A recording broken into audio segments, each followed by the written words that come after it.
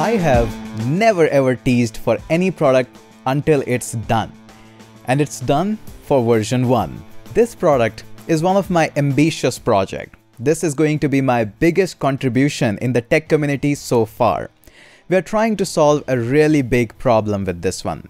Ambition is high, hope is high, and let's see how it turns out. I have never been this excited to launch any of the product so far. The aim is to provide the best and the biggest in the community and it's going to be free for everyone. Is it going to be big and amazing and awesome? Yes, absolutely.